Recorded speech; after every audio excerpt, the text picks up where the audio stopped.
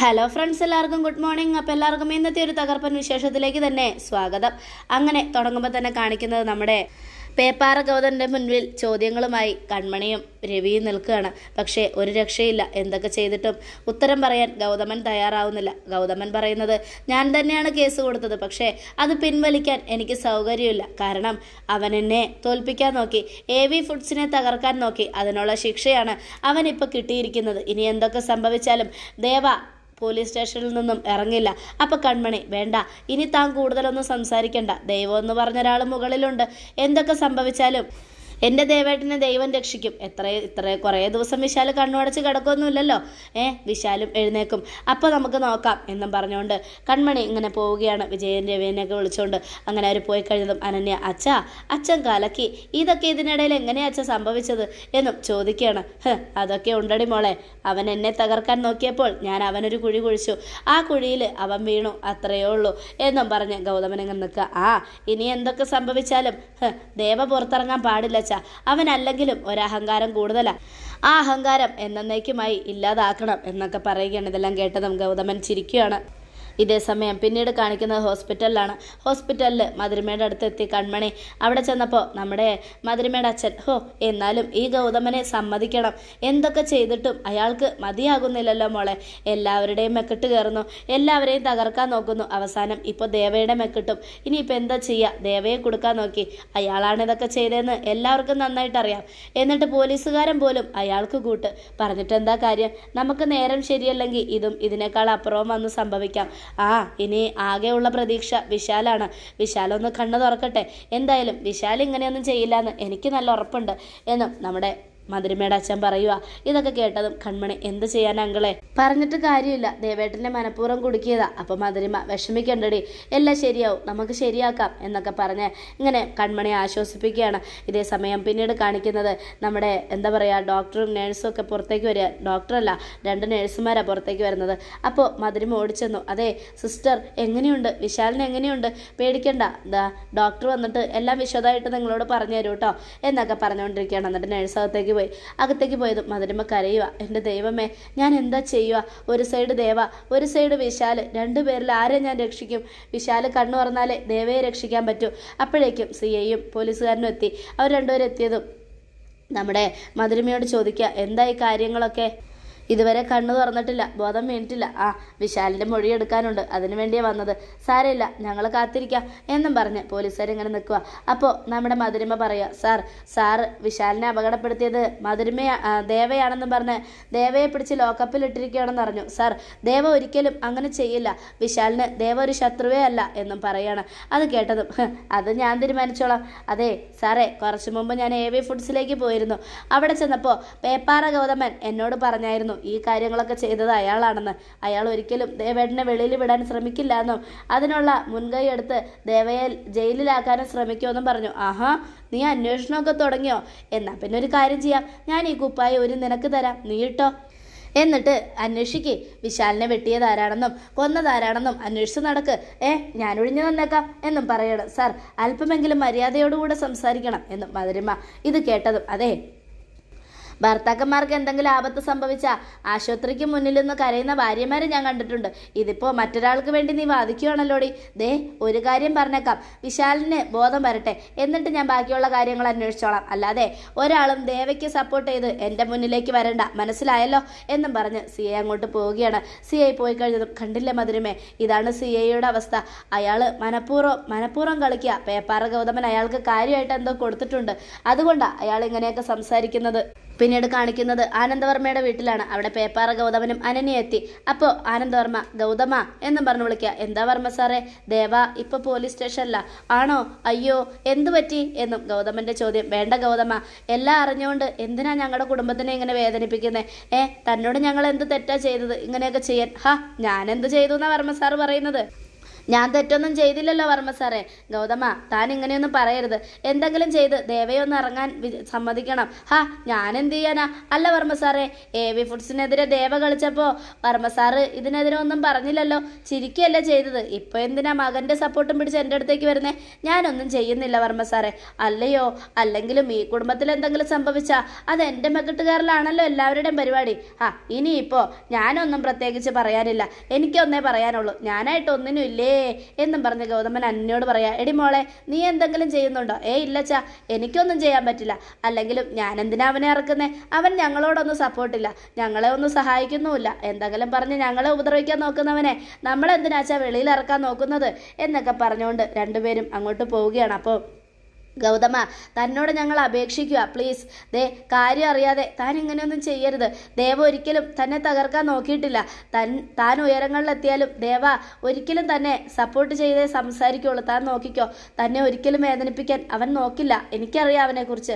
ഹ്, വേണ്ട വർമ്മ സാറേ മകനെക്കുറിച്ച് താൻ ഒരു നിങ്ങൾ ഒരുപാട് പുകഴ്ത്തുന്നുണ്ട്. അതൊന്നും കേൾക്കാൻ എനിക്ക് വയ്യ. എനിക്കിപ്പോൾ നേരോ ഇല്ല. നീ വാടി മോളെ എന്നും പറഞ്ഞുകൊണ്ട് അനന്യയും വിളിച്ചുകൊണ്ട് മുകളിലേക്ക് പോവുകയാണ്. ഇതേസമയം സ്വപ്ന ഇനിയിപ്പോൾ എന്ത് ചോദിച്ചാൽ മനസാക്ഷി ഇല്ലാത്തവരുടെ മുൻപിലാണ് നമ്മൾ നിൽക്കുന്നത് ഒന്നും പറഞ്ഞിട്ട് കാര്യമില്ല മോളെ. എല്ലാം വിധി അനുഭവിക്കുക അല്ലാതെ ഇപ്പം എന്ത് ചെയ്യാനാ?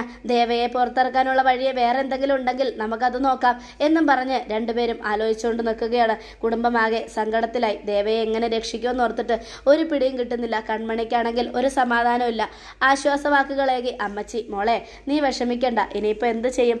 റീത്തയെ നമ്മൾ അറിയിച്ചിട്ടുണ്ടല്ലോ. നമുക്ക് അവിടെ നിന്ന് നോക്കാം. റീത്ത എന്തായാലും തിരിച്ചു വരും. അപ്പോൾ ആ സിയയ്ക്ക് കൊടുക്കാനുള്ളതൊക്കെ നമുക്ക് കൊടുക്കാം മോളെ. എന്തായാലും റീത്ത വരുന്നത് വരെ ഒന്ന് സഹിച്ചേ പറ്റൂ. റീത്ത വരട്ടെ. എന്നിട്ട് ആ സി ഐക്കിട്ട് ഒരു പണി നമുക്ക് കൊടുക്കാം. ഉറപ്പായിട്ടും കൊടുക്കാം. പക്ഷേ ദേവേട്ടനെ മനഃപൂർവം പെടുത്തി കളഞ്ഞത് അമ്മച്ചി. ആ സി ഐ ആ സി ഐ ആണ് എല്ലാത്തിനും കാരണം. അയാൾ അയാൾ ആ ഗൗതമന്റെ കയ്യിൽ നിന്ന് കൈക്കൂലി മേടിച്ചിട്ടുണ്ടെന്നുള്ളതിൽ നൂറിൽ നൂറ് ശതമാനം ശരി തന്നെയാ. മോളെ നിന്നെ എങ്ങനെ ആശ്വസിപ്പിക്കണമെന്ന് ഈ അമ്മച്ചിക്ക് അറിയില്ല. എന്താ പറയണ്ടേന്ന് അറിയില്ല. പക്ഷേ ഈ അമ്മച്ചിക്ക് ഒന്ന് പറയാൻ പറ്റും. കർത്താവ് എല്ലാം കാണുന്നുണ്ട്. നീ നോക്കിക്കോ. കർത്താവിന്റെ മുൻപിൽ ഒരു നിരപരാധിയും ശിക്ഷിക്കപ്പെടില്ല മോളെ. തീർച്ചയായിട്ടും ദേവ പുറത്ത് വരും. എനിക്ക് തോന്നുന്നില്ല വിശാൽ ഇങ്ങനെയൊന്നും ചെയ്യുമെന്ന്. അമ്മച്ചി അതിൽ അതിലൊരു ഇത് സംശയം വേണ്ട. വിശാലല്ല ഈ കേസ് കൊടുത്തിരിക്കുന്നത്. വിശാൽ മാനേജറായിരുന്ന സമയത്ത് ആ ഗൗതമൻ എന്തോ അയാളുടെ സൈനും പറ്റിച്ച് ഇങ്ങനെയൊക്കെ ചെയ്തു വെച്ചിട്ടുണ്ടാവും. അയാളല്ലേ ആൾ. അയാൾ ഇതല്ല. ഇതിനപ്പുറവും ചെയ്യും. എനിക്കറിയാം. എല്ലാം എനിക്ക് നന്നായിട്ട് അറിയാം എന്നൊക്കെ പറഞ്ഞിട്ട് കൺമണി ഇങ്ങനെ പറയുകയാണ്. എന്ത് ചെയ്യാനാ മോളെ? എല്ലാം നമ്മൾ അനുഭവിക്കുക. ഇപ്പോൾ പിശാചിന്റെ കളി നടന്നുകൊണ്ടിരിക്കുക. ആ സമയത്ത് നമ്മൾ തളരാൻ പാടില്ല. പിടിച്ചു നിൽക്കണം. ദേവയെ ആരെങ്കിലും ഉപദ്രവിക്കാൻ ശ്രമിച്ചാൽ അവരെയൊക്കെ തട്ടി തെറിപ്പിക്കണം അമ്മച്ചി ഞാൻ പോലീസ് സ്റ്റേഷനിലേക്ക് പോവുക. ദേവേട്ടനെ അങ്ങനെ സ്റ്റേഷനിൽ ഒറ്റയ്ക്ക് വിടാൻ പറ്റില്ല. എങ്ങനെയെങ്കിലും ദേവേട്ടനെ പുറത്തിറക്കണം. അതാണിപ്പോൾ എന്റെ ലക്ഷ്യം. ദേവേട്ടനെ പുറത്തിറക്കി കഴിഞ്ഞാൽ ബാക്കിയുള്ള കാര്യങ്ങളൊക്കെ ഞാൻ ചെയ്തോളാം അമ്മച്ചി. ആ പേപ്പാറ് ഗൗതമനിട്ടുള്ള പണി ഞാൻ കൊടുത്തോളാം. അമ്മച്ചി വിഷമിക്കണ്ട എന്നൊക്കെ പറയുകയാണ് ഇത് കേട്ടത്. മോളെ എന്ത് പറഞ്ഞാൽ ഞാൻ നിന്നെ ആശ്വസിപ്പിക്കേണ്ടെന്ന് ഈ അമ്മച്ചിക്ക് അറിയില്ലടി കൊച്ചെ. എനിക്ക് അറിയില്ല എന്താ പറയണ്ടേന്ന് എന്റെ കർത്താവെ എന്റെ മക്കളുടെ വേദന മാറ്റി കൊടുക്കണേ എന്നൊക്കെ പറഞ്ഞുകൊണ്ട് പ്രാർത്ഥിച്ചുകൊണ്ട് തന്നെ നിൽക്കുകയാണ് അമ്മച്ചി. ഇതേ സമയം പിന്നീട് പേപ്പാറയും അനന്യയുമാണ് കാണിക്കുന്നത്. അവർ രണ്ടുപേരും കാര്യമായിട്ട് എന്തോ ലാപ്ടോപ്പിൽ നോക്കിക്കൊണ്ടിരിക്കുക അപ്പോഴേക്കും ഭരത്ത് വന്നു അച്ഛ എനിക്ക് അച്ഛനോട് കുറച്ച് സംസാരിക്കാനുണ്ട്. എന്താടാ? അച്ഛനോട് സംസാരിച്ചേ പറ്റൂ. പറയടാ എന്താണെങ്കിലും നീ പറഞ്ഞോ. അത് ദേവയെ അച്ഛൻ കാരണം പോലീസ് പിടിച്ചു വെച്ചിട്ടുണ്ടല്ലോ. അത് വേണ്ട അച്ഛൻ പറഞ്ഞ് അയാളെ പുറത്ത് വിളിക്കണം എന്തോ? എന്താ നീ പറഞ്ഞു വരുന്നത് എന്നും നമ്മുടെ ഗൗതമന്റെ ചോദ്യം ഇത് കേട്ടതും. അച്ഛ ഞാൻ പറഞ്ഞത് അത് തന്നെയാ. അച്ഛൻ കാരണമാണ് ദേവ ജയിലിൽ കിടക്കുന്നത്. വേണ്ട അങ്ങനെ ഒരു കാര്യം അച്ഛൻ ചെയ്തത് എനിക്കിഷ്ടമായിട്ടില്ല. അച്ഛൻ എന്തെങ്കിലും പറഞ്ഞ് ദേവയെ പുറത്തിറക്കാൻ നോക്ക്. നടക്കില്ലട മോനെ. ശരി ഇനി ഇനിയിപ്പോൾ നിന്റെ ആവശ്യപ്രകാരം ഞാനത് ചെയ്യാം. പക്ഷേ അങ്ങനെ ചെയ്യുകയാണെങ്കിൽ എനിക്ക് നീ ഒരു വാക്ക് തരണം. എന്ത് വാക്കാച്ചാ ഞാൻ തരേണ്ടത്? അമ്മ ചീസിൽ നിനക്ക് എന്താണ് സ്ഥാനം? അപ്പോൾ ഭരത്തിന് ഉത്തരവില്ല. എനിക്ക് എന്ത് സ്ഥാനം? ഞാൻ എന്ത് പറയാനാ? ആ നിനക്ക് ഉത്തരവില്ലല്ലോ. അത് തന്നെയാണ് എനിക്ക് വേണ്ടത്. അമ്മ ചീസിൽ നിന്റെ സ്ഥാനം ഉയർച്ച ഉയർന്നതായിരിക്കണം.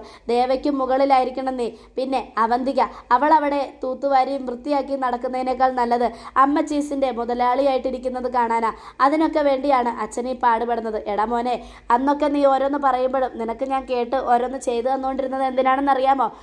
ചീസിൽ നിനക്കൊരു സ്ഥാനം ഉണ്ടെന്ന് അറിഞ്ഞതുകൊണ്ട് തന്നെയാണ് പക്ഷേ ഇപ്പം എനിക്ക് മനസ്സിലായി. അമ്മ ചീസിൽ നീ ആരും അല്ലാന്ന്. അവന്തിക ഒന്നും അല്ലാന്ന് അതുകൊണ്ട് ദേവയ്ക്ക് വക്കാലത്തും പിടിച്ച് നീ ഇങ്ങോട്ട് വരണ്ട. അങ്ങനെ ഞാൻ ദേവയെ പുറത്തിറക്കുകയാണെങ്കിൽ തീർച്ചയായിട്ടും അമ്മച്ചീസിൽ നിനക്കൊരു സ്ഥാനം ഉണ്ടായിരിക്കണം. എന്താ? അത് ദേവയ്ക്ക് തരാൻ പറ്റുമോ നീ ഇപ്പം തന്നെ ചെന്ന് പറഞ്ഞോ ദേവയെ ഞാൻ പുറത്തിറക്കാം. പക്ഷേ അമ്മച്ചീസിന്റെ എം ഡി നീ ആയിരിക്കണമെന്ന് അങ്ങനെ അവർ സമ്മതിക്കുകയാണെങ്കിൽ തീർച്ചയായിട്ടും തീർച്ചയായിട്ടും ഞാൻ ദേവയെ പുറത്തിറക്കാൻ നിന്നെ സഹായിക്കാം. വേണ്ടച്ചാ തൽക്കാലം അതൊന്നും പറയണ്ട. അമ്മച്ചീസിലെ ഒരു അവകാശം അവതാരിയും എനിക്കിപ്പോൾ വേണ്ട എന്നും. ആഹാ വേണ്ടല്ലോ. നീ അത് പറഞ്ഞല്ലോ. ഇനിയിപ്പോൾ എനിക്ക് കൂടുതലൊന്നും സംസാരിക്കാനില്ല മോനെ. ദേ നീ അമ്മച്ചീസിലെ ഒരാളായാൽ മാത്രമേ ഞാൻ ആ ദേവയെ പുറത്തിറക്കാൻ എന്തെങ്കിലുമൊക്കെ ചെയ്യൂ. ഇല്ലെങ്കിൽ അച്ഛന്റെ കയ്യിൽ നിന്നും ഒരു സഹായവും നീ പ്രതീക്ഷിക്കേണ്ട. എന്നും പറയുകയാണ്. അത് കേട്ടതും ഭരത് ദേഷ്യപ്പെട്ട് അങ്ങോട്ട് പോയി. അപ്പം അനന്യ അച്ഛാ വെറുതെ അവനെ ചൊടിപ്പിക്കണ്ടായിരുന്നു. ഞാൻ എന്ത് പറഞ്ഞു നമ്മളെ നീ പറയുന്നത് അല്ല ഇങ്ങനെ പറയുമ്പോൾ അവന് ദേഷ്യം കൂടുകയല്ലേ ഉള്ളൂ. അച്ഛാ അവൻ വിചാരിക്കുന്നത് അമ്മ ചീസിൽ എന്തെങ്കിലുമൊക്കെ ഒരു സഹായം ചെയ്ത് അങ്ങനെ കൂടി പോകാന്നാ പക്ഷെ അച്ഛൻ ദേവയെ പുറത്തിറക്കണമെങ്കിൽ ആ ഇത് അമ്മ ചീസിൽ അവന് വലിയ സ്ഥാനം വേണമെന്നൊക്കെ പറഞ്ഞാൽ ശരിയായില്ല. ഇത് അവരിൽ കൂടുതൽ നമ്മളോടുള്ള ദേഷ്യം ഉണ്ടാക്കുകയല്ലേ ഉള്ളൂ. ഏയ് ഇല്ലടി മോളെ അവനിപ്പോൾ ചിന്തിക്കാൻ തുടങ്ങും. അവന് വേണ്ടിയാണ് നമ്മൾ ചെയ്യുന്നതെന്ന് അവനിപ്പോൾ മനസ്സിലിരുത്തി ചിന്തിക്കും. അങ്ങനെ ചിന്തിച്ച് കഴിയുമ്പോൾ അവനെല്ലാം മനസ്സിലാവും. അപ്പോൾ അവൻ നേരെ ഇങ്ങോട്ട് തന്നെ വരും. അത് കഴിയുമ്പോൾ നമുക്ക് ദേവയെ പുറത്തിറക്കണോ വേണ്ടെന്ന് തീരുമാനിക്കാം. അതുവരെ അവൻ ആ ലോക്കപ്പിൽ കിടക്കട്ടെടി. ഇത്തിരി അഹങ്കാരം കൂടുതലാണ് ദേവയ്ക്ക്. ആ അഹങ്കാരം ഞാനായിട്ട് തീർത്തു കൊടുക്കാം എന്നൊക്കെ പറഞ്ഞുകൊണ്ട് ഗൗതമൻ ഒരുപാട് അഹങ്കരിക്കുകയാണ്. ഇതെല്ലാം കേട്ട് നമ്മുടെ അനന്യയ്ക്ക് പേടിയും ഉണ്ട് എന്ന ഒപ്പം ടെൻഷനും ഉണ്ട്. ഇതേ സമയം പിന്നീട് കാണിക്കുന്ന ദീപനെയാണ്. ദീപൻ അമ്മച്ചിയുടെ വീട്ടിലെത്തി. ആഹാ ഇതാര്? ദീപനോ എന്നും പറഞ്ഞ് അമ്മച്ചി വിളിക്കുകയാണ്. ആ വാ വാ ഭാഗത്തേക്ക് വാ. അപ്പം ദീപൻ അകത്തേക്ക് ചെന്നു. എന്തായി അമ്മച്ചി കാര്യങ്ങളൊക്കെ? ഞാൻ പോലീസ് സ്റ്റേഷൻ വരെ പോയിരുന്നു. ആ സി ഐ വഴങ്ങാനൊന്നും ഇത് കാണിക്കുന്നില്ല. അയാൾക്ക് ഗൗതമൻ നല്ല പൈസ കൊടുത്തിട്ടുണ്ടെന്നുള്ള കാര്യത്തിൽ എനിക്കിപ്പോൾ ഉറപ്പായി. എന്ത് ചെയ്യാനാ? റീത്താമ്മയുടെ സ്ഥലത്തില്ലല്ലോ. ഹ് ആ സി ഐയുടെ വർത്താനം കേട്ടപ്പോൾ കരുണടിച്ചൊന്ന് കൊടുക്കാനാ തോന്നിയത്. പക്ഷേ ഇപ്പോൾ നമ്മൾ അടങ്ങിയിരുന്നില്ലെങ്കിൽ പ്രശ്നമാവും. അതുകൊണ്ടാണ് ഞാനൊന്നും മിണ്ടാത്തത് എന്നും ദീപൻ അപ്പോഴേക്കും കൺമണി വന്നു. കൺമണി താൻ വിഷമിക്കണ്ടടോ. എന്തൊക്കെ സംഭവിച്ചാലും പോലീസ് സ്റ്റേഷനിൽ നിന്നും ദേവയെ ഇറക്കാം നമുക്ക്. ദേ വിശാലൊന്ന് കണ്ണു തുറന്നോട്ടെ. അതാ സാർ അത് തന്നെയാണ് എന്റെയും പ്രതീക്ഷ. പറഞ്ഞിട്ട് കാര്യമില്ല. റീത്ത മേഡം ഇല്ലാത്ത സമയത്ത് ആ സി ഐ കളിക്കുക. കളിക്കട്ടെ. അവൻ കളിക്കുന്നിടത്തോളം കളിക്കട്ടെ. അത് കഴിയുമ്പോൾ അവന്റെ അന്ത്യം കുറിക്കാൻ ആരെങ്കിലൊക്കെ ഉണ്ടാവും മോളെ. നീ വിഷമിക്കാതെ കൺമണി. ദീപൻ സാറിന് തിരക്കുണ്ടോ എന്നും കൺമണി ചോദിക്കുകയാണ്. അതെന്താ കൺമണി? അങ്ങനെ ഒരു ചോദ്യം. അല്ല എനിക്ക് ഹോസ്പിറ്റൽ വരെ ഒന്ന് പോകണമായിരുന്നു ദീപൻ സാർ എന്നെ ഒന്ന് അവിടെ ഇറക്കാമോ? ഹാ ഇതൊക്കെ ചോദിക്കേണ്ട കാര്യമുണ്ടോ? വാ വേഗം റെഡിയായിട്ട് വാ. അപ്പോൾ കൺമണി പേഴ്സ് എടുക്കാനായിട്ട് അകത്തേക്ക് പോവുക. ഇതേ സമയം അമ്മച്ചി മോനെ ദീപ എന്തെങ്കിലും പറഞ്ഞ് അവളെ ഒന്ന് ആശ്വസിപ്പിച്ചേക്കണം. എനിക്ക് ആശ്വസിപ്പിക്കാൻ പറ്റുന്നില്ല. അവൾക്ക് ആശ്വാസം പറയുമ്പോൾ ഞാൻ ഇരുന്ന് കരഞ്ഞു പോകുക. വേറെ വഴിയൊന്നും എനിക്കില്ലടാ മക്കളെ. എന്തൊക്കെ ചെയ്തിട്ടാണെങ്കിലും അവളെ എങ്ങനെയെങ്കിലും സമാധാനിപ്പിക്കുക എന്നുള്ളതാണ് എന്റെ ഇപ്പോഴത്തെ ലക്ഷ്യം. പക്ഷെ എന്ത് ചെയ്യാനാ? എനിക്ക് പോലും സമാധാനം ഇല്ലാത്ത അവസ്ഥയിൽ ഞാൻ എങ്ങനെ അവളെ സമാധാനിപ്പിക്കുക എന്നൊക്കെ പറയുകയാണ് ഇതെല്ലാം കേട്ടതും. നമ്മുടെ ദീപൻ അമ്മച്ചി വിഷമിക്കണ്ട അമ്മച്ചി എല്ലാം ശരിയാവും. നമ്മൾക്കിടയിൽ ഒരു ഒരു പ്രശ്നം ഉണ്ടായി. അത് കണ്ടകശനിയായിട്ട് അങ്ങോട്ട് പോയി എന്ന് കരുതിയാൽ മതി. എന്തായാലും വിശാൽ കണ്ണു തുറക്കുന്നതോടുകൂടെ എല്ലാം ശരിയാവുന്ന എന്റെ മനസ്സ് പറയുന്നത് എന്നൊക്കെ ദീപൻ അമ്മച്ചിയോട് പറയണം. അപ്പോഴേക്കും കൺമണി വന്നു. ദീപൻ സാർ എനിക്കെന്തായാലും ആശുപത്രിയിലിരിക്കണം. ഇനി വിശാൽ കണ്ണ് തുറക്കുന്നത് വരെ എനിക്ക് ഒരു പ്രതീക്ഷയുള്ളൂ വിശാൽ കണ്ണ് തുറന്നു കഴിഞ്ഞാലേ ഇനി ദേവേട്ടനെ പുറത്തിറക്കാൻ പറ്റൂ എന്നുള്ളതിൽ എനിക്ക് ബോധ്യമായി അല്ലാതെ വേറെ ആര് വിചാരിച്ചാലും അതൊന്നും നടക്കാൻ പോകുന്നില്ല. അതുകൊണ്ട് എന്തായാലും ഹോസ്പിറ്റലിലേക്ക് പോകണം അപ്പം അമ്മച്ചി ഞാൻ പോയിട്ട് വരാം. മോളെ നീ ധൈര്യമായിട്ട് പോടി. നിന്റെ ഒപ്പം കർത്താവുണ്ട് കർത്താവ് നിന്നെ കാക്കും. നിന്റെ ഭർത്താവിനെ കർത്താവ് കൊണ്ടുവരും പുറത്ത്. എന്തായാലും നീ ധൈര്യമായിട്ട് ചെല്ല് എന്നും പറഞ്ഞ് നമ്മുടെ അമ്മച്ചി പൊട്ടിക്കരയാണ്. അങ്ങനെ ദേവ കൺമണിയും ദീപനും പോയി ഇതേ സമയം പിന്നീട് കാണിക്കുന്നത് ഹോസ്പിറ്റലിലാണ്. ശാന്തിയും പിന്നെ മധുരിമയും വിശാലിനെ കാണുക. വിശാലിന് ഒരു ബോധവും ഇല്ല. നെറ്റിയിൽ കെട്ടുണ്ട്. കയ്യിൽ ഇഞ്ചക്ഷനൊക്കെ ഇട്ട് ട്രിപ്പിട്ട് കിടത്തിയിരിക്കുന്നു. വിശാലിനെ കണ്ട് നമ്മുടെ ശാന്തി പൊട്ടിക്കരയുക എന്നിട്ട് ശാന്തിയും കൊണ്ട് മധുരിമ പുറത്തേക്ക് വന്നു. വാ മോളെ നമുക്ക് പുറത്ത് നിൽക്കാം. ആ പേപ്പാറ ഗൗതമൻ. പകരം വീട്ടിയതാ. അയാൾ ഒരിക്കലും അടങ്ങിയിരിക്കില്ല. അച്ഛനെ കൊന്നതുപോലെ എന്റെ ഏട്ടനെയും ഇല്ലാതാക്കാന്നായിരുന്നു അയാളുടെ ശ്രമം. പക്ഷേ അയാൾ അയാൾ വിചാരിക്കുന്നുണ്ടാവില്ല. എന്റെ ഏട്ടൻ എന്തെങ്കിലും സംഭവിച്ച ചോദ്യങ്ങളുമായി ഞാൻ ചെന്ന് നിൽക്കുമെന്ന് നിൽക്കും ഞാൻ. അയാളുടെ മുൻപിൽ ഞാൻ ചെന്ന് നിൽക്കും. അയാളെ ഇല്ലാതാക്കാൻ എനിക്കധികം നേരമൊന്നും വേണ്ട. പക്ഷേ ഞാനത് ചെയ്യാത്തത് ഈ കൺമണിയെയും ദേവയെയും കുറിച്ച് മാത്രം ആലോചിച്ചിട്ടാ. പക്ഷേ ഞാൻ ചെയ്യും. എന്റെ ഏട്ടനെ ഈ അവസ്ഥയിൽ കിടത്തിയ അവനെ ഞാൻ ചോദ്യം ചെയ്യും. അവന് മുൻപിൽ ഞാൻ ചോദ്യങ്ങളുമായി നിൽക്കും. നിന്നിരിക്കും എന്നൊക്കെ പറഞ്ഞ് ശാന്തി വാശിയോടെ നിൽക്കുകയാണ് ഇത് കേട്ടതും. മധുരിമയുടെ അച്ഛൻ മോളെ നമുക്ക് പ്രതികാരമാകാം. പക്ഷേ ദേ ഇപ്പോൾ ഈ അവസ്ഥയിൽ വേണ്ട. ആ ഗൗതമൻ ഗൗതമനാണ് ഇതൊക്കെ ചെയ്തതെന്ന് എല്ലാവർക്കും ഊഹിക്കാൻ പറ്റും എന്ന് കരുതി നീ എടുത്തോ പിടിച്ചോ എന്നും പറഞ്ഞ് ഒരു പ്രശ്നങ്ങളും ഉണ്ടാക്കണ്ട.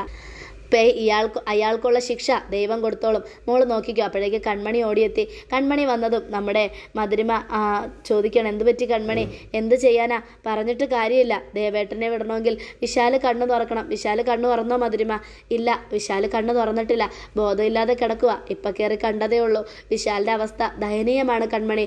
പറഞ്ഞിട്ട് കാര്യമില്ല. എന്ത് ചെയ്യാനാ? ആ പേപ്പാറ ഗൗതമൻ വീണ് കിട്ടിയ അവസരം മുതലെടുത്തതാ. ഇനിയിപ്പോൾ നമ്മൾ കാത്തിരിക്കുക വിശാൽ കണ്ണു തുറക്കുന്നത് വരെ അതല്ലാതെ വേറൊരു ലക്ഷ്യവും നമ്മുടെ മുന്നിലില്ല എന്നും പറഞ്ഞുകൊണ്ട് എല്ലാവരും നിൽക്കുകയാണ്. അതോടുകൂടെ എപ്പിസോഡ് അവസാനിക്കുകയാണ്. നാളത്തെ ഒരു തകർപ്പൻ വിശേഷത്തിനായിട്ട് കാത്തിരിക്കുക.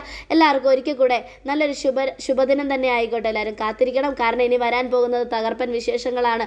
നമ്മുടെ വിശാല കണ്ണ് തുറന്നു കഴിഞ്ഞാൽ പേപ്പാറ ഗൗതമൻ ഇനി അന്ത്യം തന്നെയാണ്. കൂട്ടുകാരെ തീർച്ചയായിട്ടും മിസ് ചെയ്യാതെ തന്നെ കാണാം. എല്ലാവർക്കും ഒരിക്കൽ കൂടെ നല്ലൊരു ദിവസം തന്നെ ആയിക്കോട്ടെ. Thank friends